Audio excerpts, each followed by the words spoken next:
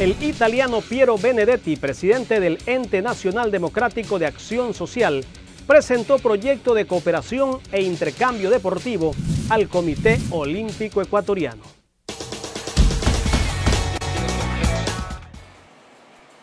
Con el objetivo de conversar sobre un proyecto de cooperación internacional, el presidente del Ente Nacional Democrático de Acción Social, ENDAS, Piero Benedetti, se reunió con el presidente del Comité Olímpico Ecuatoriano, Augusto Morán.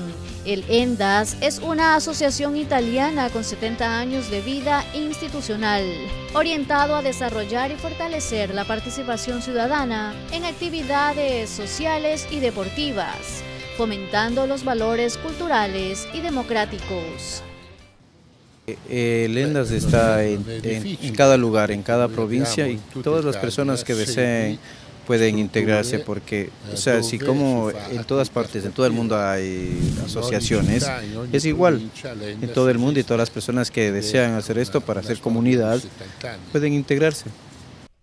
Benedetti ya vino al país hace algunos años atrás, en el que se hizo un acuerdo de colaboración con el Ministerio del Deporte. Ahora trajo una propuesta al Comité Olímpico Ecuatoriano. Además, explicó que con ello se espera dar mayores oportunidades a las mujeres para que puedan ser dirigentes deportivas. Eh, eh, para mí es dar más oportunidades a la mujer para que pueda ser dirigente o a la, vez pueda tener más posibilidades de, apertura en el deporte, ¿no?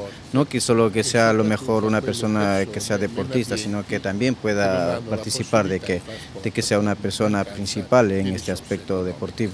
Durante su estancia en Guayaquil, el titular de ENDAS conoció lugares emblemáticos de la ciudad y visitó las instalaciones del COE, donde conoció un poco más de la historia del deporte nacional. Gilda Miranda, Fuerza Deportiva Extreme.